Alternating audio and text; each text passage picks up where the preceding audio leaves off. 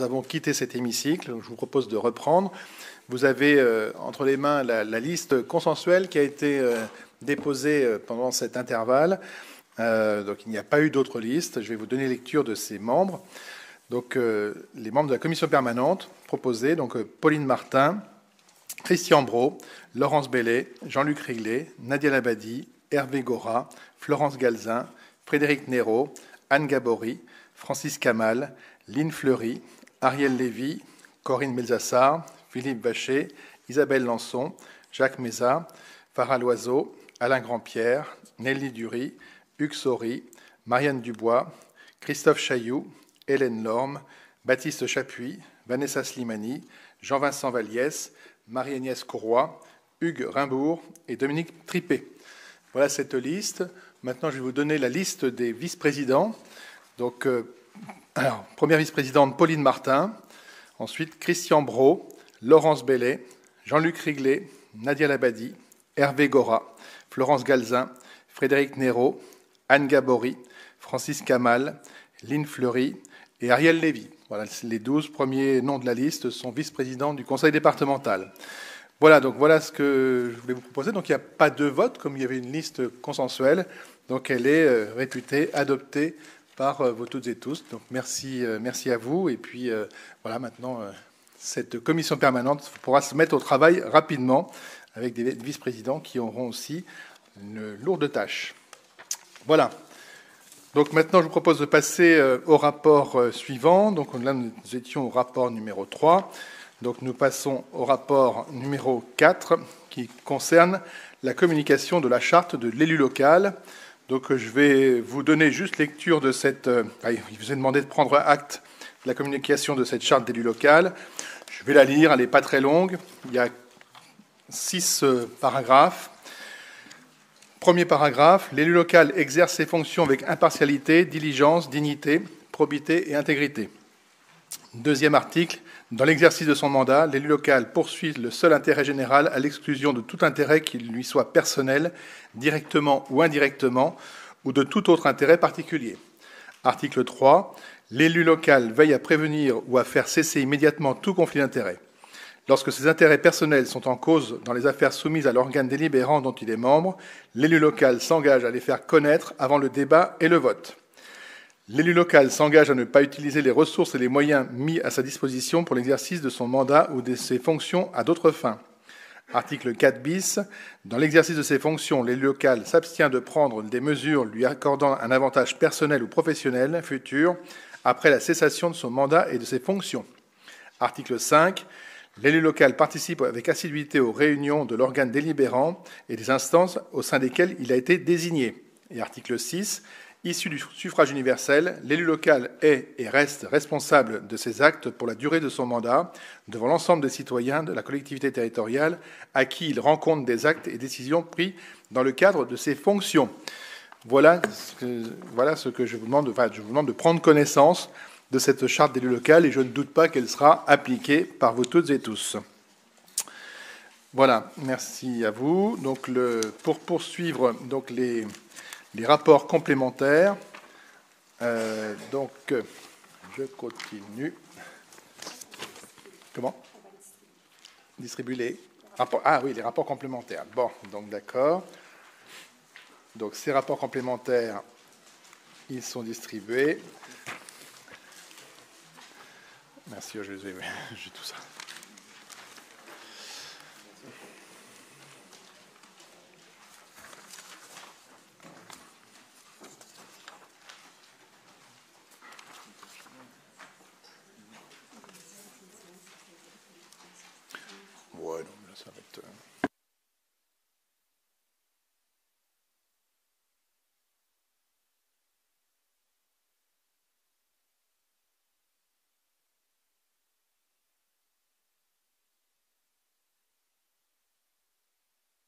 Voilà, vous avez quelques minutes pour prendre connaissance de ces, ces rapports, principalement euh, le rapport 5. Euh,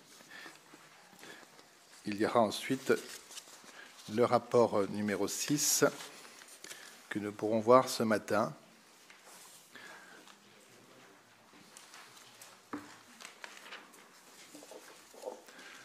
Voilà, je vous laisse.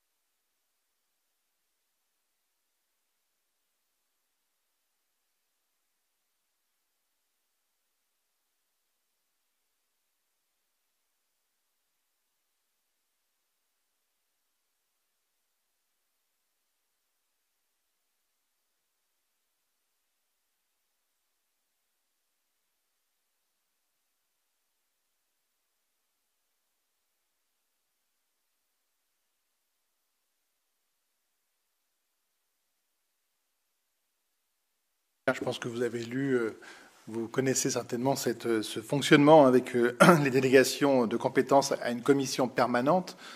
Ah, vous ne l'avez pas?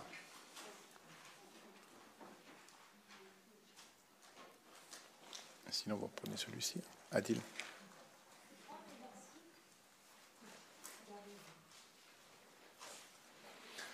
Est-ce que tout le monde a bien eu les dossiers?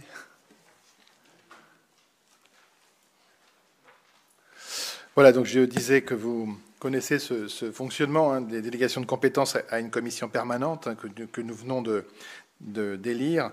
Euh, donc, euh, il y a toutes les, je dirais, les, grands dossiers, les grandes orientations qui passent devant la session, la session plénière, mais ensuite, je dirais, toutes les affaires courantes peuvent être traitées dans le cadre de des délégations de compétences à la commission permanente. Donc, dans ce rapport, je vous lis les, décisions proposées hein, de déléguer à la commission permanente pendant les intercessions. Euh, donc, la commission permanente se réunit, je vous le rappelle, euh, une fois par mois, sauf au mois d'août. Mais en général, c'est le dernier vendredi du mois. Alors, de déléguer la commission permanente pendant les intercessions l'exercice d'une partie des attributions du conseil départemental dans l'ensemble de ses domaines de compétences, sous les, sous les exceptions susvisées, donc qui ont été visées précédemment. Euh, et ensuite de décider que chaque membre du conseil départemental sera néanmoins rendu destinataire de l'ordre du jour de la commission permanente et des procès-verbaux des séances correspondantes. Donc évidemment, vous recevrez toutes et tous euh, évidemment les, comptes rendus et l'ordre du jour de ces, euh, de ces commissions permanentes pour que tout le monde soit informé de ce qui s'y décide. Voilà. Est-ce que vous avez des questions sur cette commission permanente? Non, il n'y a pas de questions. Vous avez pu en prendre connaissance de ce rapport numéro 5. Oui, bon, je, pas de questions. Je propose de voter. Y a-t-il des votes contre? Des abstentions? Il n'y en a pas. Bah, écoutez, je vous remercie. Maintenant, nous allons, passer au rapport suivant qui concerne euh, la formation des commissions intérieures. Donc, le, conseil départemental se divise actuellement en six commissions euh, entre lesquels sont distribués tous les dossiers suivant la nature et leur, objet. Euh, donc, euh, tous les membres du conseil départemental sont répartis entre ces commissions, à l'exception du président du conseil départemental qui a son entrée et voix délibérative dans toutes les commissions. Euh, voilà, donc nous aurons, comme vous le verrez, six commissions, je vous donnerai les intitulés, et en plus une commission en charge des finances qui aura pour sa part à désigner également en son sein un rapporteur général du budget. Voilà, donc c'est, euh, je vais vous donner l'intitulé des sept commissions que, je vous propose euh, de créer. Donc la commission A, euh, la première commission sera, il n'y a pas d'ordre protocolaire hein, dans ces commissions, hein, c'est un, ordre de passage à la fois en session ou en, ou en commission permanente. La première commission, donc la commission enfance, éducation et jeunesse, qui concernera l'aide sociale à l'enfance, la protection de l'enfance, la prévention, la PMI, la jeunesse, les collèges, les actions périscolaires, l'enseignement supérieur et entre autres le projet Campus Madeleine. La commission suivante, la commission B, concernera la commission des mobilités et aménagement du territoire, les routes, les mobilités douces, les infrastructures, l'aménagement, le très haut débit, la téléphonie mobile, l'électrification rurale, le service départemental d'incendie et secours. La commission C, la commission Bien vieillir, handicap, inclusion, logement et sport, donc euh, la prévention de la perte d'autonomie, la MDA, la MDPH, le Loiret Bien vieillir, le logement inclusif, la politique sportive amateur, et de haut niveau. Ensuite, la commission D, commission agriculture, environnement et transition. Dans cette commission, nous traiterons de l'agriculture, du PAT, du projet alimentaire territorial, la stratégie bas carbone, des espaces naturels sensibles, des milieux, naturels et parcs départementaux, la politique des rivières, la gestion de la Loire et des levées, la gestion des déchets, la gestion de l'eau potable et la politique en faveur de l'assainissement individuel et collectif, le plan départemental des espaces, euh, les sites et itinéraires, les risques naturels, l'agenda 21, tout ce qui concerne l'eau, la rénovation et l'isolation thermique des bâtiments, les nouvelles énergies, le budget participatif. La commission suivante, la commission E, commission emploi, économie, ressources humaines. Donc, il traitera du RSA, de l'insertion, euh, de la transformation de l'action sociale, euh, du concept Cap Loiret et de la mobilisation du département en faveur des territoires, entre autres. La commission F, commission culture, attractivité et tourisme. Donc, elle traitera de la politique culturelle, des archives départementales, de la médiathèque départementale, des châteaux et musées, le festival de Sully et du Loiret, le soutien à l'entretien du patrimoine historique, euh, le tourisme avec la DRTL, les espaces services publics, la lutte contre la désertification médicale, la coopération décentralisée. Et puis euh, la commission, la dernière commission, qui est une commission un peu euh, ad hoc, hein, qui se réunira autant que de besoin, la commission des finances et l'évaluation des politiques publiques, avec les orientations budgétaires, la préparation du budget, les décisions modificatives, le budget et les comptes du département, la gestion financière, les taxes, le suivi la programmation financière des opérations. Voilà ce qui vous est proposé euh, comme commission intérieure. Donc, euh, je vais euh, vous donner la, composition des membres de ces commissions hein, qui, qui, ont été proposées. Donc, pour la commission A, il s'agit de Nadia Labadi, Florence Galzin, Corinne Melzassar, Aude Denisot, Farah Loiseau, Baptiste Chapuis et Mathieu Gallois. Pour la commission B, Hervé Gora, Frédéric Néraud, Philippe Vacher, Jean-Pierre Gabel, Grégoire Chapuis et Hélène Lorme. Pour la commission C, Christian Brault, Francis Kamal, Nelly Dury, Gérard Malbeau, Ludivine Ravelot, Marie-Agnès Courroy, Christine Tellier. Euh, pour la commission D, euh, Jean-Luc Riglet, Anne Gabory, Thierry Braquemont, Isabelle Lançon, Marianne Dubois, Jean-Vincent Valliès, Hugues Rimbourg. La commission E, Pauline Martin, Ariel Lévy, Marie-Laure Baudouin, Sophie Pellat, Hugues Sori, Vanessa Slimani et Dominique Tripé. La commission F, Laurence Bellet, Lynne Fleury, Christophe Bouquet, Jacques Messa, Alain Grandpierre, Christophe Chailloux et Karine Haribé.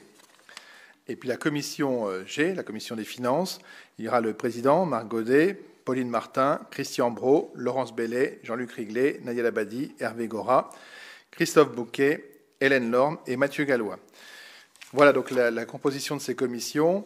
Euh, vous l'avez compris, donc vous avez euh, les 12 vice-présidents qui, siègent dans ces commissions au titre de président de commission. Euh, et puis de président avec une délégation, de vice-président en délégation d'une certaine thématique, donc par commission. Voilà, donc là maintenant je vous propose encore à nouveau une pause, mais très rapide, qui va vous permettre de réunir les commissions dans les salles que je vais vous indiquer. Et dans ces commissions, vous élirez un vice-président de la commission et un secrétaire ou une secrétaire, une vice-présidente. voilà. Alors, donc la, la, commission A de Nadia Labadi, salle Jean Zé. La commission B de Hervé Gora, salle Doufiag. La commission C de Christian Brault, salle Desarnaud. La commission D de Jean-Luc Riglet, c'est la salle 201 au deuxième étage. Donc là, Jean-Luc, tu sais où c'est. La commission E, euh, Pauline Martin, salle Xavier Deschamps. Et la commission F de Laurence Bellet, la salle Claude Lemaître. Voilà, donc vous avez, euh, on se donne, euh, allez, 10 euh, minutes, 10 hein, minutes, un quart d'heure maximum. Vous réunissez bah, comme vous voulez, hein, c'est, mais bon, pas deux heures. vous réunissez vos commissions, et puis on se donne rendez-vous vers euh, moins le quart, moins 10.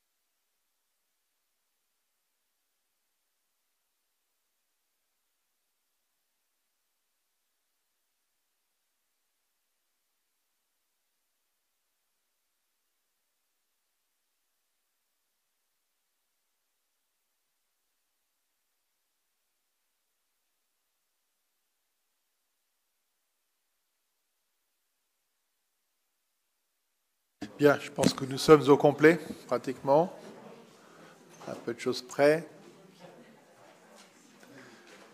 Euh, qui est-ce qui nous manque Un. Sophie, il manque Sori, Christophe Bouquet. Euh, il manque deux personnes. Christophe. Et puis euh, Hugues, je ne sais pas si. Eh bien, Hugues est là. Voilà. Bien, donc euh, je dois vous faire voter sur le, rapport qui créer ces commissions euh, intérieures, euh, ces sept commissions intérieures, et puis euh, ensuite je donnerai la parole à chaque président de commission pour qu'il donne bah, son organigramme entre guillemets. Voilà, donc je dois vous faire voter sur la création de ces sept commissions. Est-ce qu'il y a des votes contre? Est-ce qu'il y a des abstentions? Il n'y en a pas, donc merci, ce rapport est adopté. Maintenant, je vais donner la parole au, président, à chaque président, donc en commençant par euh, Nadia Labadi pour donner un peu son organigramme de commission. Merci, Monsieur le Président. Vous voulez que je vous donne toute la composition et après euh, le président, vice-président? On fait comme ça? Oui.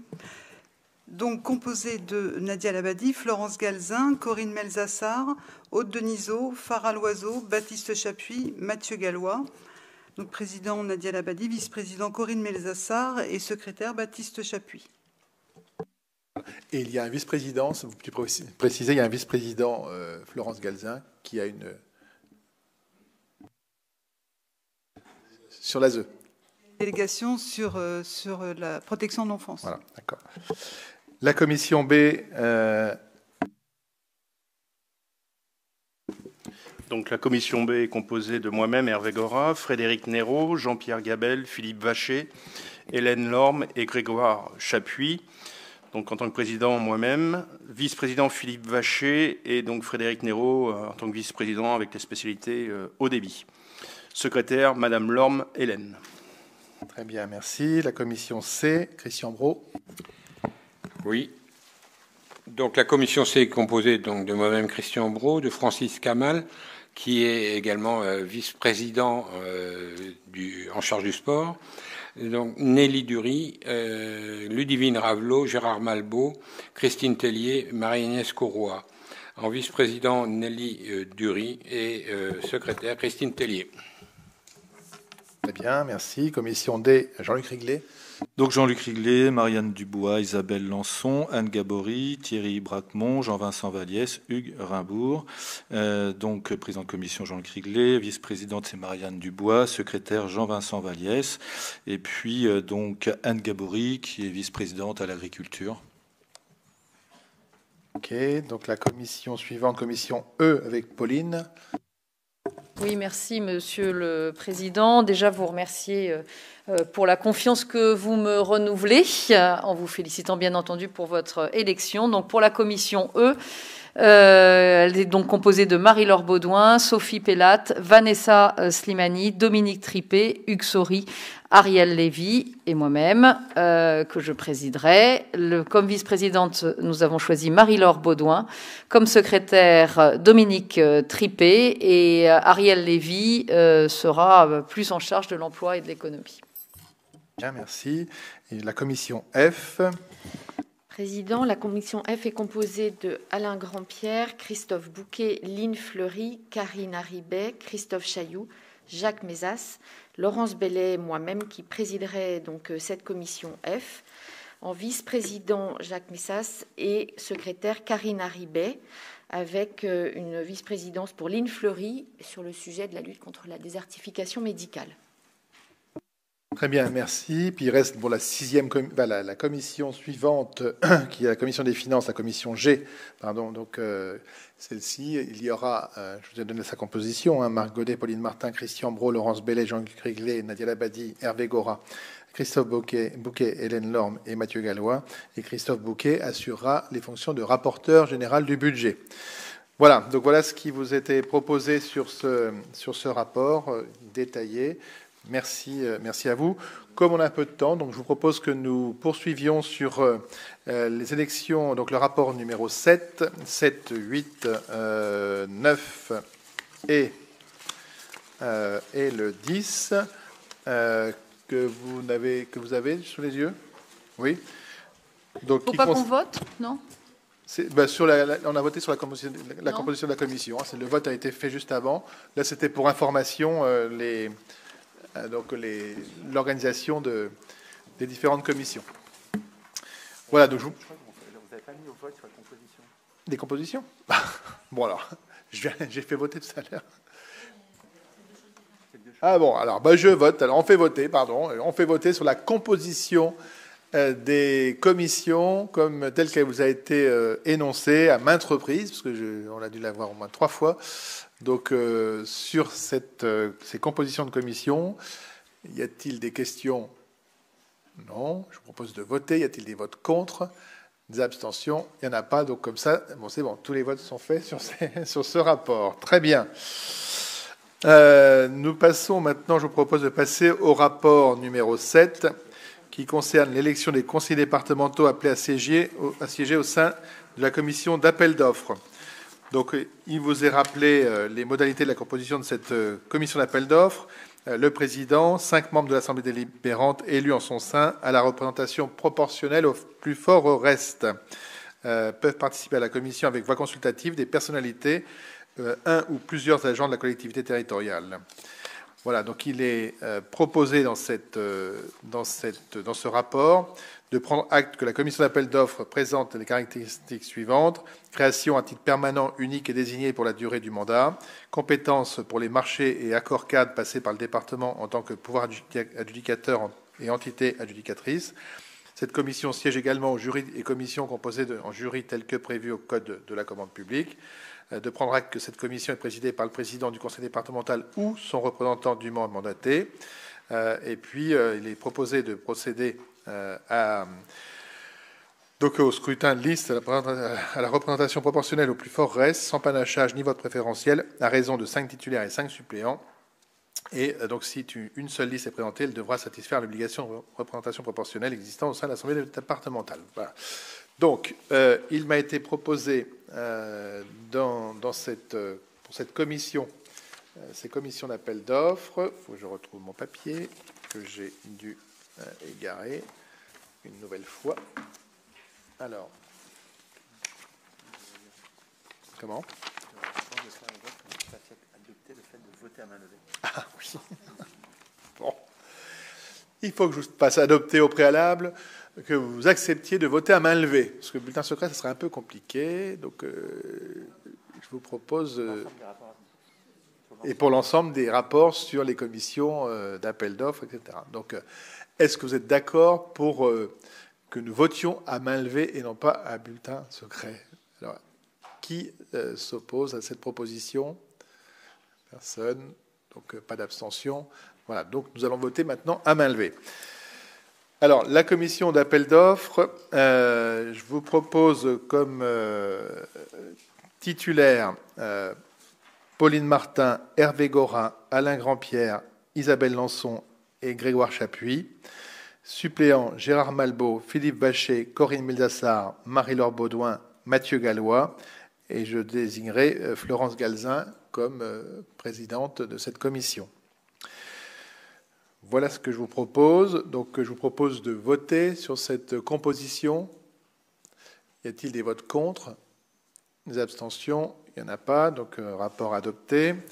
Donc, le rapport suivant, il s'agit de l'élection des conseillers départementaux appelés à, siéger au sein de la commission d'appel d'offres relative au marché de partenariat. Donc là aussi, je ne vais pas vous lire toute la délibération, mais le droit de la commande publique aligne la composition de la commission d'appel d'offres sur celle de la commission prévue euh, compétente en matière de délégation de services publics. Donc les modalités de la composition de la commission d'appel d'offres relative au marché de partenariat. Donc il vous a indiqué tous les textes du CGCT. Donc, décision proposée prendre acte que la commission d'appel d'offres relative au marché de partenariat présente les caractéristiques suivantes. Création à titre permanent, unique et désigné pour la durée du mandat. Compétences pour les marchés de partenariat passés par le département en tant que pouvoir adjudicateur et entité adjudicatrice. Prendre acte que cette commission est présidée par le président du conseil départemental ou son représentant d'une membre mandaté par acte séparé procéder à l'élection des membres de la commission d'appel d'offres relative au marché de partenariat, au scrutin de liste, à la représentation proportionnelle, au plus fort reste, sans panachage ni vote préférentiel à raison de cinq titulaires et cinq suppléants. Prendre acte que si une seule liste est représentée, elle devra satisfaire l'obligation de représentation proportionnelle existant au sein de l'Assemblée départementale. Bien, bah, écoutez, je vous propose exactement la même composition que la commission d'appel d'offres. Hein. donc, euh, il, je, je, je, rappelle les noms Pauline Martin, Hervé Gora, Alain Grandpierre, Isabelle Lançon, Grégoire Chapuis en tant que titulaire, euh, Gérard Malbeau, Philippe Vacher, Corinne Mézassar, Marie-Laure Baudouin et Mathieu Gallois en tant que suppléants, et la présidence confiée euh, par délégation à Florence Galzin.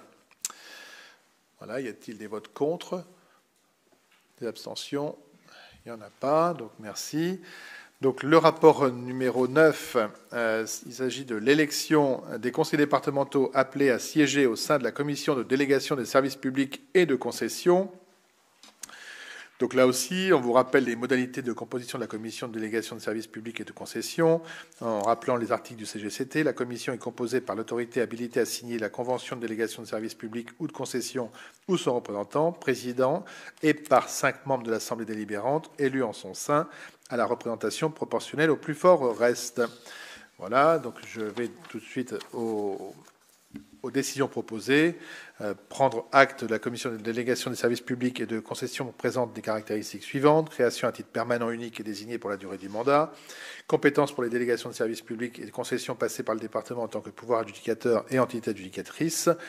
Prendre acte que cette commission est présidée par le président du conseil départemental ou son représentant dûment mandaté par acte séparé procéder dans les conditions prévues par l'article D 1411.3 du Code général des collectivités territoriales à l'élection des membres titulaires 5 et suppléant 5 euh, de la commission de délégation de services publics et de concession au scrutin à la liste à la proportionnelle au plus fort reste sans panachage préférentiel. Voilà, il prendra acte que si une seule liste est présentée, elle devra satisfaire l'obligation de représentation proportionnelle existant au sein de l'Assemblée départementale. Voilà, donc euh, là, cette euh, commission de délégation de services publics, je vous propose au niveau des titulaires Marianne Dubois, Frédéric Néraud, Ariel Lévy, Hugues Sori, euh, oui, ah oui j'avais écrit Jacques Sori, mais non, tu n'étais pas là ensuite, c'est Hugues Sori. Euh, et Dominique Tripet.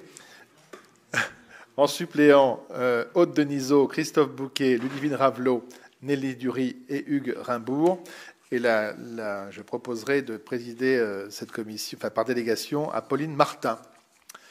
Voilà cette proposition sur cette commission de délégation de services publics et de concession là, je, vous dis, hein, les, deux dernières commissions, elles ne se réunissent pas très souvent. Hein. Je ne me souviens pas les avoir vues se réunir, mais bon. bon, euh, autant que de besoin. Voilà, sur cette composition, euh, y a-t-il des questions? Je vous propose de voter. Y a-t-il des votes contre? Des abstentions Il n'y en a pas, donc merci. Rapport adopté. Et euh, dernier point pour ce matin, euh, le rapport numéro 10, élection des conseillers départementaux appelés à, vote, à siéger au sein de la commission consultative des services publics locaux. Donc la commission euh, consultative des services publics locaux dispose de compétences à la fois facultatives et obligatoires. Elle peut euh, émettre des propositions visant à l'amélioration des services publics locaux sur demande de la majorité de ses membres. Euh, elle dispose ensuite du nombre, au nombre de ses missions obligatoires d'attribution consultative, d'examiner chaque année sur rapport du président le rapport produit par le délégataire du service public à l'autorité délégante. ça, c'est vrai que ça se pratique. Hein. avant le 1er juin de chaque année. Elle est par ailleurs obligatoirement consultée par le conseil départemental pour avis sur tout projet de délégation de service public avant que le conseil départemental ne se prononce sur le principe de la même délégation. Euh, il est à noter aussi, page 2, elle est également consultée sur tout projet de création d'une régie dotée de l'autonomie financière euh, avant la décision du conseil départemental portant création de la régie. La commission peut aussi euh, demander l'inscription à l'ordre du jour de toute proposition relative à l'amélioration des services publics locaux. Et enfin, le président de la commission doit présenter au conseil départemental avant le 1er juillet de chaque année un état des travaux réalisés par la commission consultative des services publics locaux au cours de l'année précédente. Voilà, il sera proposé, donc euh, décision proposée, reconduire le nombre de membres fixé le 23 septembre 2003, euh, ça remonte loin, euh, et proportion entre les deux collèges de membres, procéder à la désignation des représentants départementaux au sein de cette commission dans le respect du principe de représentation proportionnelle et pour la durée du mandat en cours au nombre de 8 titulaires et 8 suppléants. prendre acte que cette commission est présidée par le président du conseil départemental ou son représentant du membre mandaté par acte séparé. Euh, si une seule liste est présentée, elle devra être, euh, comme à chaque fois, à la proportionnelle de l'Assemblée départementale et prendre acte que les représentants d'associations locales seront désignés par une délibération ultérieure. Ça, c'est un point important. Prendre acte que les, hein, les représentants d'associations locales seront désignés par une délibération ultérieure. Voilà, donc ce qui les membres proposés par cette dans cette commission en titulaire euh, Laurence Bellet, Francis Kamal, Marianne Dubois, euh, Sophie Pellat, euh, Christian Brault, Marie-Laure Baudouin, Dominique Tripet, Hugues Rimbourg. Et en suppléant, Farah Loiseau, Thierry Braquemont, Lynn Fleury, Hugues Saury, Anne Gabory, Jean-Luc Riglet, Baptiste Chapuis, Marie-Agnès Courroy.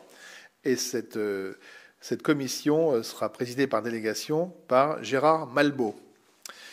Voilà, donc y a-t-il des questions sur cette, euh, cette représentation, sur cette, euh, l'organisation de cette commission? Non, pas de questions. Je vous propose de voter. Y a-t-il des votes contre? Des abstentions? Il n'y en a pas, donc je vous remercie. Voilà, je vais vous proposer euh, d'arrêter là, parce qu'il reste, il restera deux, trois délibérations euh, cet après-midi. Ça concernera les délégations de pouvoir du conseil départemental au président euh, sur euh, voilà, les trois, trois, trois, derniers rapports, le, 11, 12 et 13. Donc pour la, suite des événements, oui, comment? Ah, Moi je veux bien la faire maintenant, hein. mais elles sont longues celles-là. Elles sont longues, non? Bon, Bon, eh bien écoutez, moi, je, moi ça ne me dérange pas. Hein. Alors, est-ce que vous êtes d'accord pour... Euh, hein? Oui. Bon, alors, eh ben, donc, on va poursuivre euh, sur euh, les délégations de pouvoir. Je vais vous lire les délibérations in extenso, vous allez voir, on va passer deux heures. non. Bon, alors, le rapport 11, vous l'avez regardé, vous avez eu le temps de le regarder. Délégation de pouvoir du conseil départemental à monsieur le président du conseil départemental. Donc vous avez les délégations données au président en matière de droit de préemption sur les espaces naturels sensibles. Donc en décision, il est proposé de déléguer au président l'exercice de droit de préemption sur les espaces naturels sensibles et selon les modalités prévues par le Code de l'urbanisme, évidemment. Ensuite, une délégation donnée au président en matière de fonds de solidarité pour le logement et ça, il est inscrit, il, dispose en effet que le président euh, du conseil départemental peut, par délégation du conseil départemental, être chargé de prendre toute décision relative au fonds de solidarité pour le logement, notamment en matière d'aide, de prêt, de remise de dette et d'abandon de créances. Il rencontre à la plus, à la plus proche réunion utile du conseil départemental l'exercice de cette compétence. Voilà, donc une décision proposée, déléguée au président euh, sur le territoire départemental et hors territoire métropolitain. Euh, les pouvoirs pour prendre toute décision relative au Fonds de solidarité pour le logement, notamment en matière d'aide, de prêt, de remise de dette et d'abandon de créances. Là, effectivement, il y avait eu un transfert de compétences dans ce domaine-là sur la métropole. Délégation donnée au président en diverses matières. Bon là, donc euh, décision proposée. Euh, arrêter, modifier l'affectation des propriétés du département utilisées pour ses services publics. Fixer dans les limites à déterminer par l'Assemblée départementale les tarifs de droits de voirie, de dépôt temporaire sur les voies et autres lieux publics, d'une manière générale, les droits prévus au profit de la collectivité qui n'ont pas un caractère fiscal. Décider la conclusion de la révision du louage des choses pour une durée n'excédant pas 12 ans, d'accepter l'indemnité de sinistre afférente au contrat d'assurance, de créer, modifier ou supprimer les régies de comptable nécessaires au fonctionnement des services de la collectivité, d'accepter les dons et legs, décider d'aliéner de gré à gré des biens immobiliers, jusqu'à 4 000 euros, 4600 euros, pardon, fixer dans les limites de l'estimation des services des fiscaux le montant de l'offre de la collectivité à notifier aux expropriés et répondre à leurs demandes, fixer les taux de reprise d'alignement euh, en application d'un document de l'urbanisme, décider d'attribution le retrait des bourses entretenues sur les fonds départementaux visés à l'article du CGTT, prendre décision euh, mentionnée euh, relative à la réalisation de diagnostic d'archéologie préventive, autoriser au nom du département le renouvellement de l'adhésion aux associations dont il est membre, demander à l'État ou d'autres collectivités territoriales l'attribution de subventions, procéder au dépôt de demande d'autorisation d'urbanisme relative à la démolition, transformation et édification de biens du département. Ensuite, délégation de nos présidents pour intenter au nom du département toute action en justice pour défendre le département toutes les actions intentées contre lui. Donc, donner délégation au président euh, du conseil départemental pour la durée de son mandat pour intenter au nom du département des actions de justice toute nature pour défendre dans les actions de toute nature intentées contre lui, tant devant les juridictions administratives que judiciaires de la première, euh, de première instance d'appel ou de cassation. Ensuite, donner délégation donnée au président en matière de saisine pour avis de la commission consultative des services publics locaux. Voilà. Et puis, euh, voilà, donc, euh, décision proposée de donner délégation au président en matière de saisine pour les avis de la commission consultative des services publics locaux dans les conditions déterminées ultérieurement par l'Assemblée. Voilà, bon, ça, il y en a encore des plus longues après derrière. Hein. Bon, alors, sur cette délégation, finalement, euh, je vous pose la question, s'il y a des questions Je vais être fatigué là. Non. Euh, je vous propose de voter. Y a-t-il des votes contre? Des abstentions? Il n'y en a pas. Bon. La décision, la délibération numéro 12. Délégation en matière de financière consentie au président du conseil départemental. Là, elle est très longue, celle-là. Euh, je vous propose d'aller directement en page 2. On vous rappelle quand même, en page 2, à la date du 1er janvier 2021, l'encours de la dette présentait les caractéristiques suivantes. Donc, euh, en cours total de la dette, 482 999 224 euros. Euh, voilà, avec des dettes, classées, une partie de la dette, la grosse partie de la dette, 96% classée en 1A, et ensuite 3% en 1B et 0,66% en 1C. Euh, donc, le corollaire de la présente délégation réside dans l'information nécessaire du conseil départemental par le président quant aux actes pris dans le cadre de cette délégation. Cette intervention interviendra annuellement dans le cadre du vote du compte administratif dans sa partie dette, évidemment. Les décisions proposées. Euh, donc, oui, je vais aller donner délégation au président pour prendre les décisions nécessaires à la mise en œuvre de la politique d'endettement conformément à la stratégie d'endettement présentée ci-dessus. C'est pas ça? Je vais, je alors après, soit je vous dis, vous avez des questions, je, vous pose la question si, si ça vous convient, ou est-ce que je continue à lire, parce que je peux continuer à lire aussi. Donner délégation. Ah Vous avez, vous avez pitié de ma voix. Bon, c'est un rapport très complet qui fait six pages. Euh, qui indique les, montants euh, maximum des sommes inscrites, donc où le président peut par délégation euh, souscrire des emprunts et, voilà tout ce qui peut être fait par le président en matière de, de, comment dire de décision financière, voilà avec des éléments très techniques hein, sur les emprunts classiques, les libellés en euros, etc. Bon, bref, sur cette délibération, y a-t-il des questions précises? Allez-y. Non Bon, je vous propose de voter alors, du coup. Est-ce qu'il y a des votes contre? Des abstentions Il n'y en a pas, donc merci pour votre confiance. Et euh, dernière délibération. Euh, et voilà, bah oui, on sera, comme l'a dit le président Chailloux, on sera euh, dans les temps. Donc délibération numéro 13, délégation de pouvoir en matière de commande publique consentie au président du département.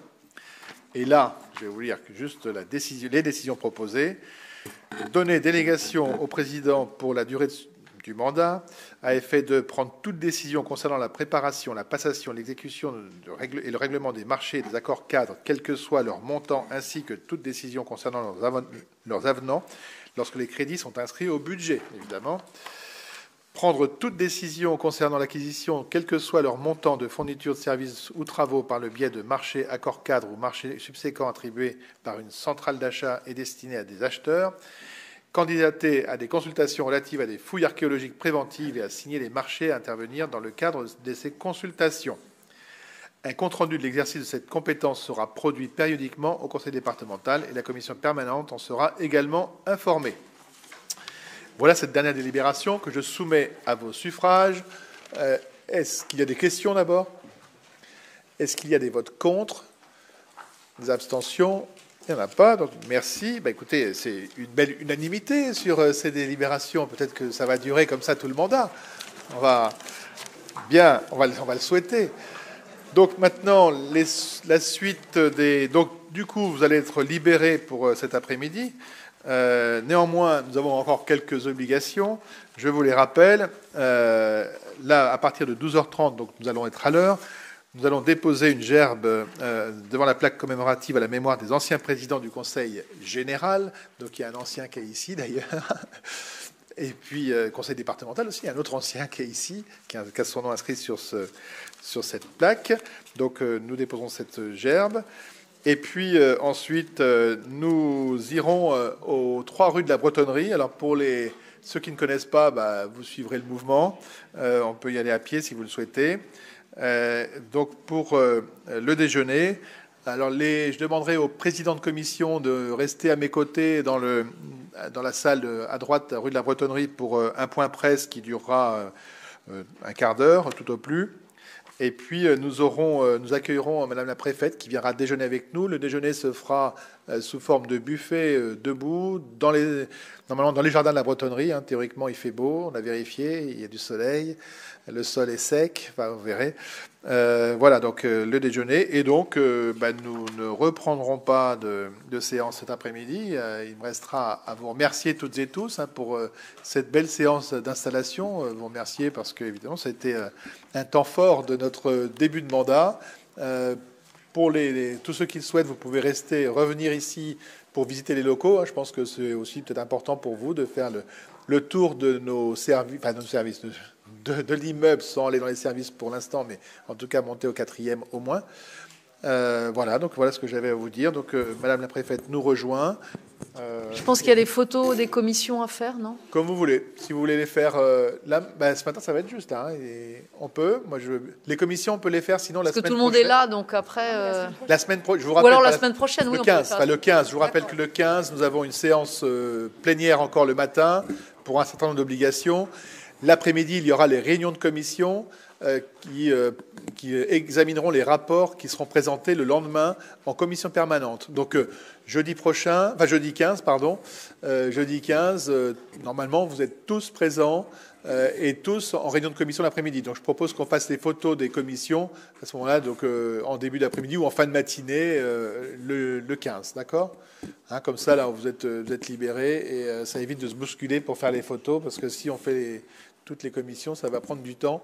Et euh, voilà, il faudrait qu'on laisse pas, qu'on ne fasse pas attendre Madame la préfète à la, bretonnerie. Voilà, merci à vous. Excuse-moi, Marc. Oui. Cet après-midi, il y a un dépôt de gerbe également au Monument de la Victoire. Monument de la Victoire, je vous le je, vous l'ai pas dit. Non. Est-ce qu'il faut mettre la Ah, je sais pas. Vous pouvez, si vous voulez mettre la, comme vous voulez. Euh, bon, c'est soit tout le monde, soit personne. Hein, bon alors personne. Allez, vous la garderez pour les fêtes de Jeanne d'Arc au moins, euh, mais, et après les, cérémonies que vous, vous, souhaiterez la porter. Euh, donc dépôt de gerbe au Monument de la Victoire, juste après le repas à la bretonnerie, en revenant euh, ici.